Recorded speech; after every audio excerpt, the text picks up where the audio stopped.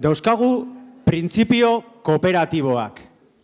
Bai, kooperatiba bat gidatzen duten printzipioak. Ta zein da zaio honen eh, zein da zaio honen eh, helburua? Zaio honen helburua da ikustea ikastoletan zelan bultzatzen diren zazpi printzipio kooperatibo hiek. Bai. Zazpi printzipio, zazpi itzaldi. Itzaldi laburrak izango dira, baina propositiboak. Eta praktikan oinarritutakoak, bai? Nekane Artola, Patxo Labarria, Gotzon Gondra, Semente mugimenduko langileak Galiziatik etorri dirala zuzenean saio hau ematera, eskerrik asko UEU e eta gezkiren partez, Mano Aurrekotzea, Jose Luis Ukia, eta bukatzeko Andoni Mujika. Bai, zaituko gara oso e, interbentzio laburrak eta sintetikoak egiten, bai? Baina oso garrantzitsuak, ze dira pilulak, dira argazkiak. Ikastolek zelan garatzen dituzte printzipio kooperatibo hiek. Printzipio, printzipio kooperatibo hiek dira kooperatibismoaren izaera hori garatzen eta bultzatzen dituzteran, bai? Bale. Lehenengo saioa, atxikimendu librea. Tamentxe duko zuen. Kooperatibak erakunde voluntarioak dira. Haien zerbitzuak erabiltzeko gai diren guztiei eta bazkide izateko erantzunkizuna onartzeko pres dauden guztiei irekiak daude. Generoaren, arrasaren, klase sozialaren, posizio politikoaren eta erligioaren araberako bazterketarik gabe. Hau izango litzateke lehenengo printzipioa. Ikastolak irekiak dira. Eta praktikan, zelan ikusten den hori, hori nekanek eh, aipatuko digu, bere esperientzian oinarrituz,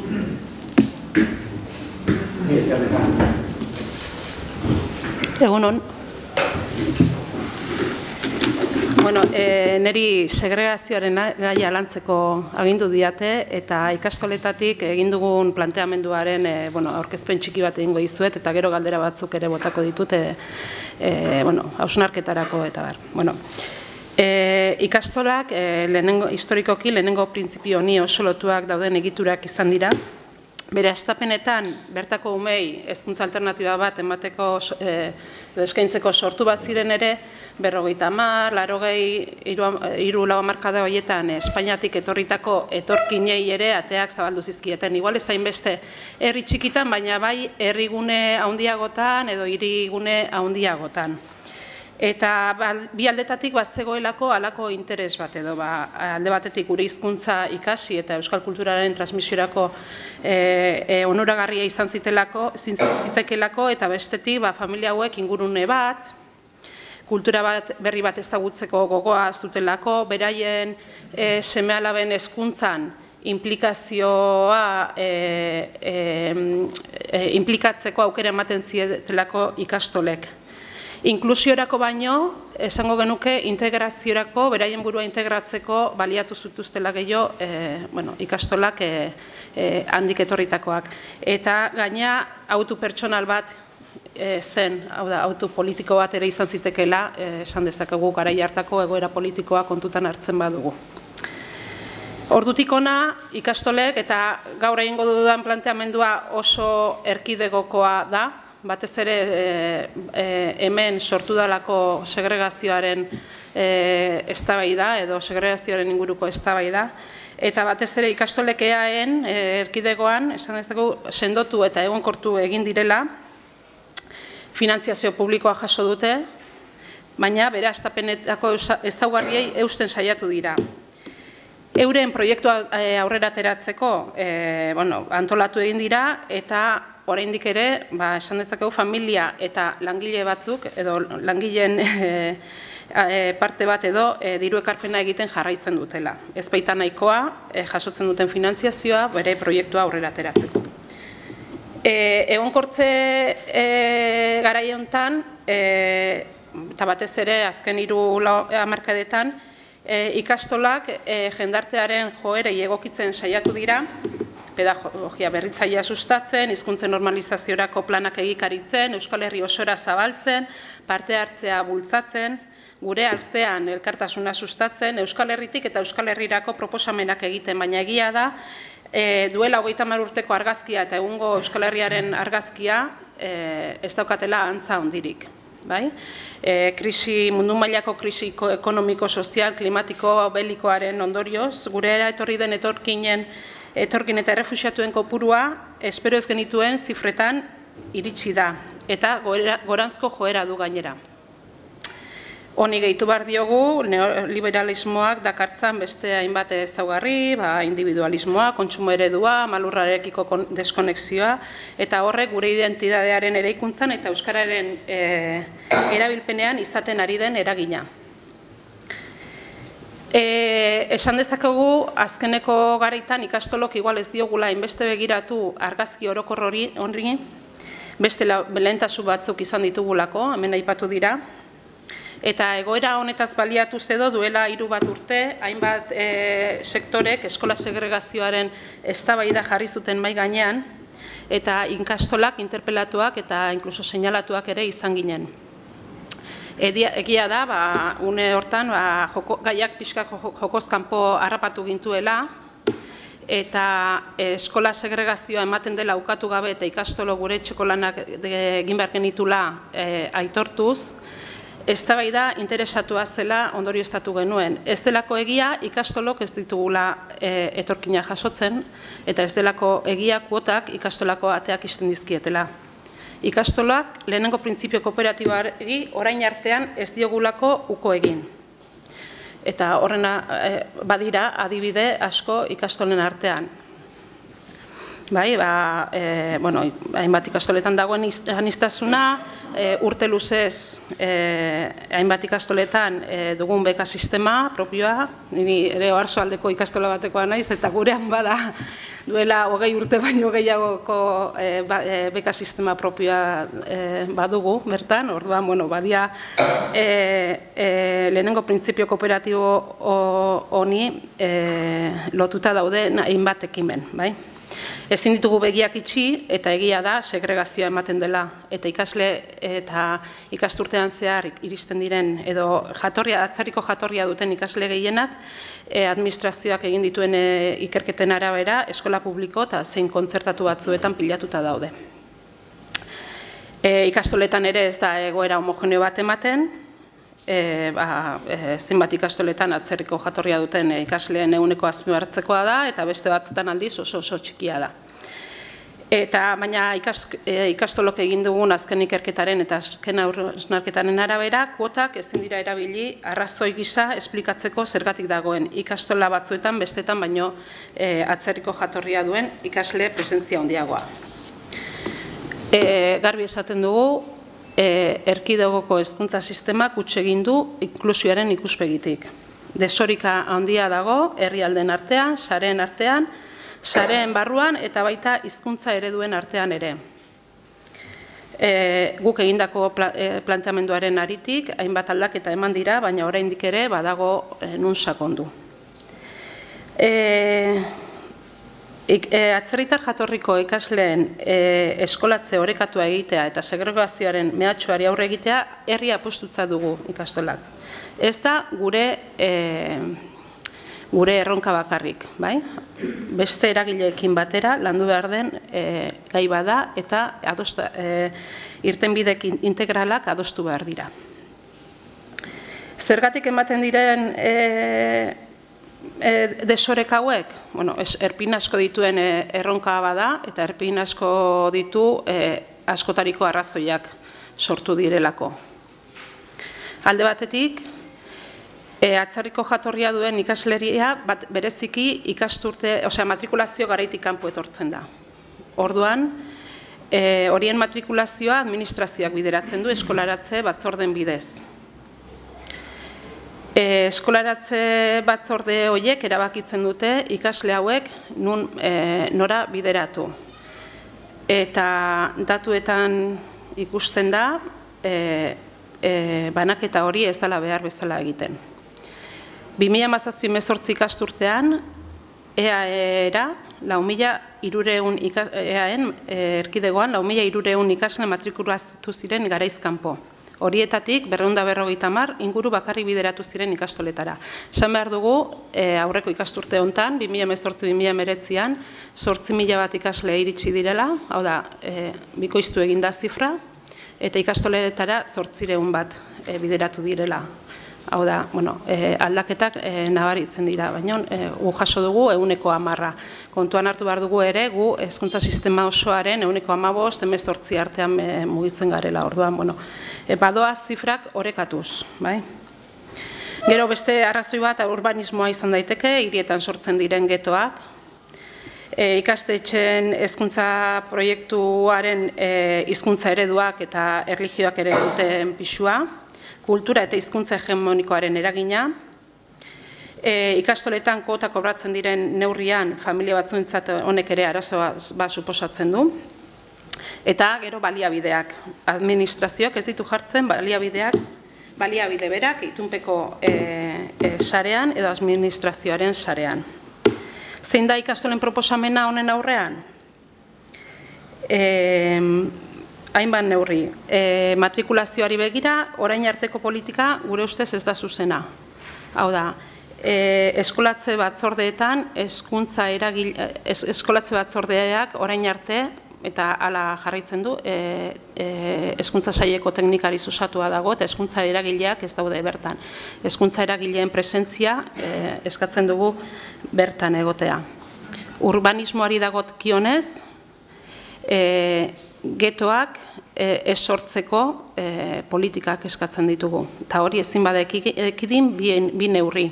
Ere horietan dauden ikastetxen arteko orekari eustea, eta integrazio politikaz ezartzeko behar diren baliabideak eskintzea e, segregazioa ematen den ikastetxe horietan edo e, ikasle etorkinak pilatuta dauden e, ikastetxe horietan.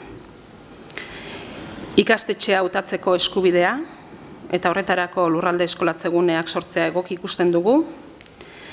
Kultura eta hizkuntza hegemonikoaren eragina gutxitzeko e, proposamen bakarra dakagu, eta da hizkuntza ereduen desagerpena eta murgiltza ereduaren orokortzea sistema osora. Ikastoletan harrera planak e, bultzatzea, ikastola bakoitzak bere harrera plana badu ere, e, hau modu orokor batean egitea eta beste eragileekin herriko beste eragileekin batera egitea eta, gero aterako den beste neurri bat bat badalako udaletxeen parte hartzea ezinbesteko ikusten dugulako e, inklusiorako familia hauen inklusiorako bidean. Eta gero e, ekonomikoa e, ikastoletan kota kobratzen dira hala da ez zaigulako e, iristen ematen zaigun finantziazio publikoarekin e, administrazioak e, itunpeko ikastetxeen eguneko irogeita zeia finantzatzen du. Gainerako guztia gurasoek ordaintzen dute. E, e, eta gure proposamena da, ba, orain arte ikastola batzuk e, izan duten e, beka sistema propio hori orokortzea.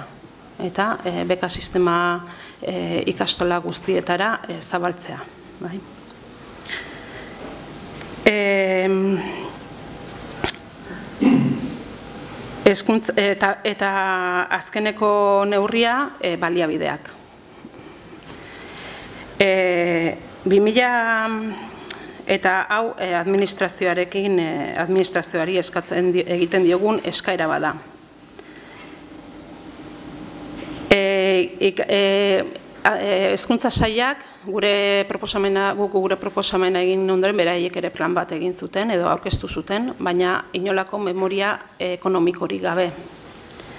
Eta, eta datuak hartzen baditugu eta kontuan hartuta eman ditugun datuak e, iazko ikasturtean lau mila bosteun edo iritsi zirela eta horrengoan sortzen mila iritsi direla e,